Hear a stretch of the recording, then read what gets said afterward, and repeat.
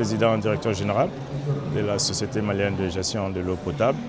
C'est la société euh, de l'exploitation des infrastructures euh, d'eau euh, dans les centres urbains au Mali et donc qui est liée par un contrat d'affermage avec une autre société qui est la société des patrimoines, qui s'appelle la Société malienne du patrimoine de l'eau potable au Mali et qui elle-même est liée par un contrat de concession avec l'État du Mali.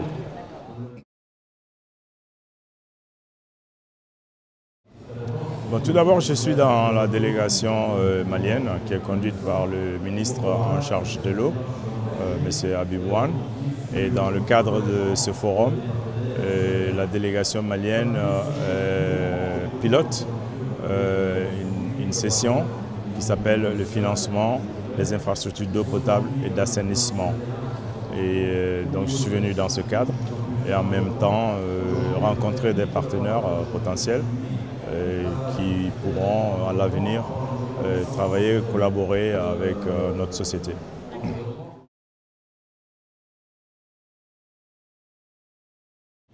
Oui, donc il faut tout d'abord comprendre que le Mali a entrepris il y a de cela quelques années un vaste euh, chantier de réforme des secteurs de l'électricité et de l'eau potable au Mali. Donc euh, notre société était euh, partie, faisait partie de la société Énergie du Mali qui s'occupait de l'électricité et de l'eau potable.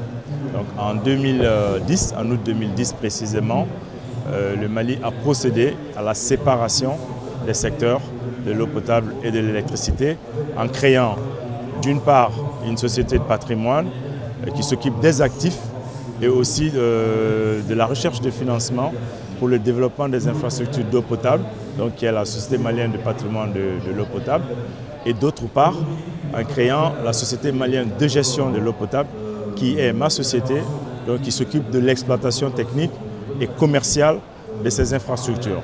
Donc nous sommes en charge de produire, de distribuer et de commercialiser l'eau sur toute l'étendue du territoire, dans les centres urbains plus précisément. Donc actuellement, il existe trois sociétés dans le secteur.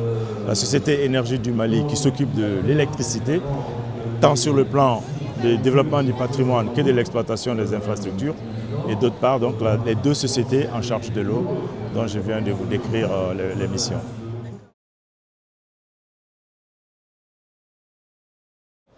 Actuellement, l'AFD euh, participe euh, euh, dans la construction de la station de traitement d'eau potable dite de Misabougou, donc qui est une station compacte, hein, compacte parce que euh, mobile, euh, un financement de 12 millions d'euros avec une capacité de production de 12 000 m3 par jour, c'est-à-dire 12 millions de litres par jour.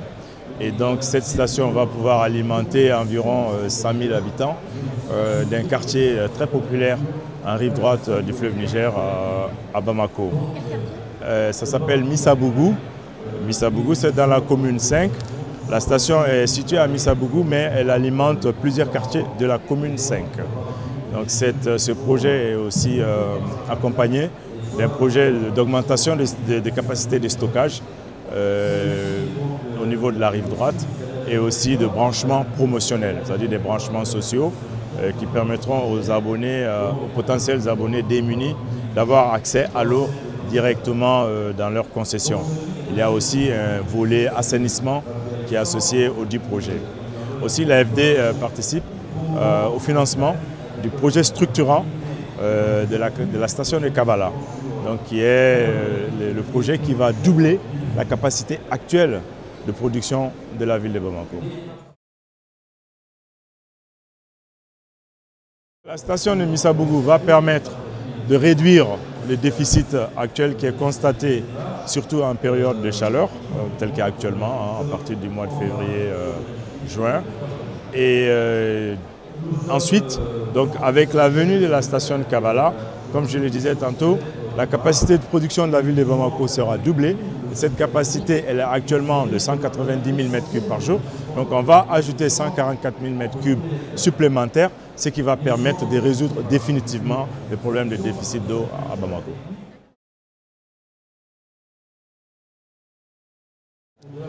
En ce moment, euh, comme je le disais, de, de, on va dire du mois de juin au mois de janvier, il n'y a pas de problème. À partir du mois de février, donc les abonnés qui sont situés en périphérie de la ville et qui sont situés aussi euh, en altitude, donc commencent à avoir des baisses de pression et certains sont carrément coupés pendant les heures de pointe. Donc ce que nous faisons, euh, nous opérons par euh, des distributions d'eau, soit par citerne, hein, soit par citerne d'eau, euh, soit nous faisons euh, des coupures tournantes hein, pour pouvoir alimenter les abonnés qui sont carrément coupés en eau. Ah oui, il y a beaucoup de, qu'on appelle des bornes fontaines publiques, un peu disséminées partout.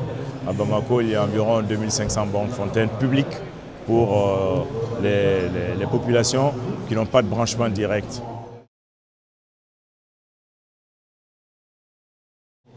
Ils payent directement au niveau du fontainier.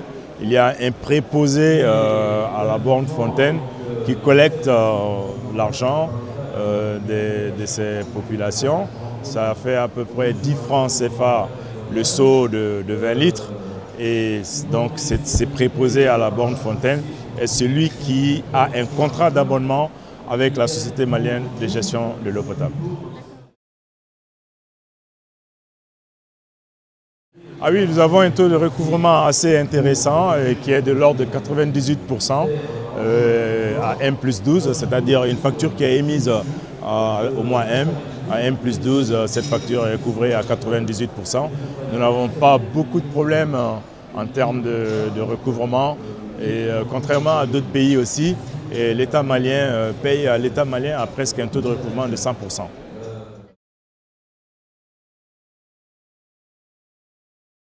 Dans les villes secondaires, il existe euh, quelques difficultés. Nous avons, à l'instar de Bamako, euh, certaines grandes villes euh, qui ont aussi des, problèmes de déficit de production. Je citerai notamment la ville de Sikasso, qui est une très grande ville en expansion, une ville de mémoire à peu près 200 000, 150 000 à 200 000 habitants, si on compte toutes les agglomérations autour. Donc cette ville est une grande ville au sud du Mali, avec une expansion économique assez importante. Nous avons un problème de déficit là-bas, la ville de Caille, hein, qui est une ville très connue et qui expérimente aussi des déficits. Aussi, euh, nous avons certaines villes qui sont situées dans le Sahara, où le problème, c'est surtout au niveau de la ressource, de comment euh, capter la ressource, parce que dans ces villes, c'est de la ressource souterraine que nous exploitons. Et euh, il y a des villes comme Kidal, par exemple, où la ressource elle est très rare donc il faut aller la chercher euh, très très loin. Il faut forer profond et il faut aussi aller chercher des forages très loin de la ville. Parce que les nappes qui sont euh, proches de la ville ne sont pas toujours promoteuses et il faut aller les chercher très loin. Nous avons le même problème dans une autre ville euh, à côté de la Mauritanie, qui est la ville de Nioro du Sahel, où nous exploitons aussi des ressources souterraines qui, euh, sont assez, maigres en termes de capacité. Nous avons des, soutiens des, bailleurs de fonds euh, pour financer des projets euh, dans ces centres. Euh, J'ai cité tantôt l'Agence française de développement pour la ville de Bamako. Nous avons la coopération dano-suédoise qui, qui va équiper quatre grands centres, dont Sikasso précisément, et donc Caille aussi. Ici, il y a la ville de Kati, à 15 km de Bamako, qui est une grande agglomération. Et aussi, euh, il y a la ville de Kuchala, euh, qui, est une ville cotonnière euh, qui connaît une grande expansion. Nous avons aussi la Banque islamique de développement, qui, à l'instar de l'Agence française de développement, va aussi construire une station compacte en rive droite du fleuve Niger, cette fois-ci dans, un quartier qui s'appelle Kalabankoro. Et donc cette, cette, station ajoutée à celle de Misabougou, donc les deux permettront de combler le déficit de production en attendant euh, la construction de la grande station de Kabbalah qui doit normalement intervenir à partir de 2015, qui est financée par un pool de bailleurs de fonds euh, de 11 bailleurs, en plus de l'Agence française de développement bien sûr. On peut citer notamment la Banque mondiale, la Banque africaine de développement, la BID, la Banque ouest africaine de développement, etc. Actuellement, est déjà atteint, est déjà atteint au, Mali. En 2015, nous devons atteindre les objectifs du millénaire pour le développement. Actuellement, au Mali, les taux de, de raccordement, les taux de desserte est de l'ordre de 75,5%. Et donc en 2015, nous comptons amener ce taux à 82%.